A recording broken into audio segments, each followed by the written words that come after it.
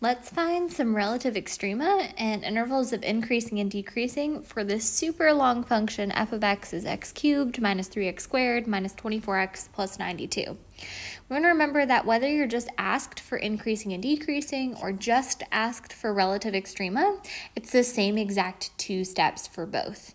So our first step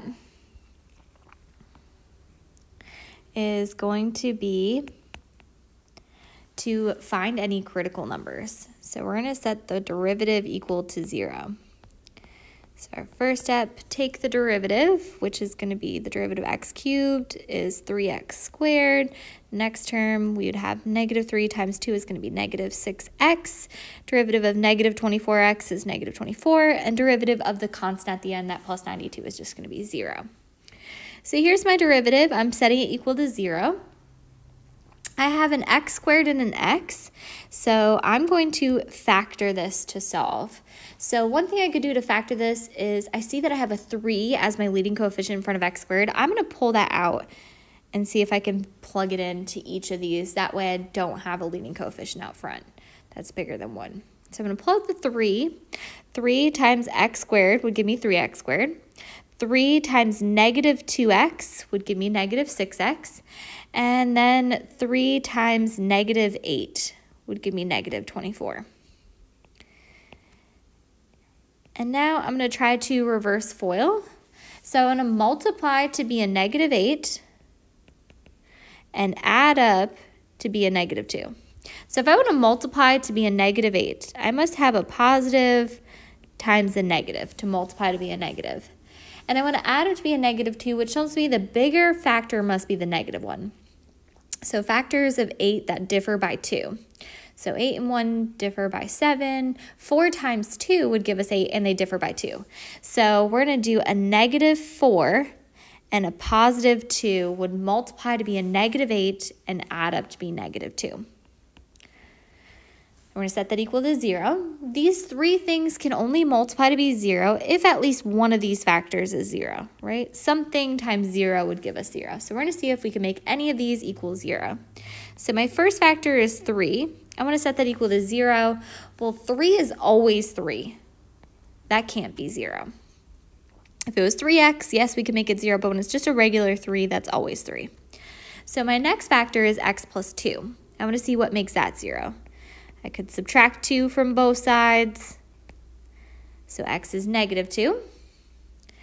And then we have x minus 4. I want to see if I can make that 0. We could add 4 to both sides. So x is 4. So we have two critical numbers here, two things that make the derivative 0 and they are able to be plugged into the original function, which is the other thing. It has to be in the domain of the original function. Can't make you divide by zero. These, of course, go into the original function because we have a polynomial. We remember that all polynomials are always continuous. You can plug in any x value into them, and nothing's going to make you divide by zero or have the square root of a negative number because it's a polynomial. So we have two critical numbers. We can already answer part of this. Here are the two places that make the derivative 0. x equals negative 2 and x equals 4. Be careful not to ever write this as negative 2 comma 4. That indicates you're giving me a point and that negative 2 is the x and 4 is the y. And this is not an x and a y, they are both x values. So I'm going to write them just like that. And then my second step is to make a sign chart. This is the step where I'm going to figure out where am I increasing and decreasing and if I have any relative max or min. So the first thing that goes on my sign chart are my critical numbers, where the derivative is 0, so negative 2 and 4 are both important. They make the derivative 0. And now I can choose any number to the left and to the right of those x values. So to the left of negative 2, I can choose any number. I'm going to choose maybe negative 10. I want to remember that the value of the derivative isn't important, but the sign of it is, whether it's positive or negative. So I'm going to plug into the derivative. It's easiest for me to plug into the factored form. That way I don't have to use a calculator and I can just figure out the sign of it in my head. So I'm going to plug into this factored form. The first factor is 3. Well, that's positive. The second factor, plugging in negative 10 to it, negative 10 plus 2 is going to be negative still. And then this last factor, negative 10 minus 4, is going to be negative. So two negatives multiply to be a positive. So I'd end up with a positive times a positive. This first interval is positive. If the derivative is positive, the original function is increasing or is it decreasing? It's increasing. So we figured out that first interval has a positive derivative, which means the function's increasing. My next interval is between negative 2 and 4. This is my favorite interval because I love to be able to plug in 0. I think that's the easiest one to plug in. And 0 is on there. So I'm going to plug into the derivative. So the first factor of the derivative is the 3, which is positive. Then we have 0 plus 2, which is positive.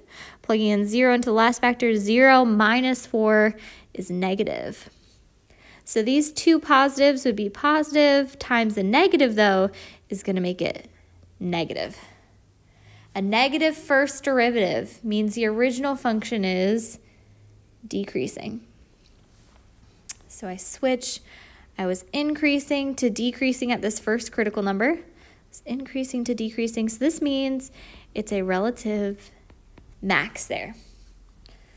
All right, we're making some progress. We're going to finish our sign chart and then we'll write a conclusion about all of them. So my last piece of the sign chart is picking any number after 4 to test. I'm going to use positive 10. You could use 5 if you want to. I'm going to plug into the derivative always. You never plug into the original function on a sign chart because you want to know the sign of the derivative. The first part of the derivative is a positive 3. The second part is x plus 2. So 10 plus 2 is going to be positive. And then x minus 4. So 10 minus 4 is also going to be positive. Three positives are going to multiply to be a positive. You could use your calculator on this, but I think it's just um, more error proof to just think about the number by plugging it in um, using your head. But either way is fine. Either way, you should get that the derivative is positive on the interval, which means the original function was increasing.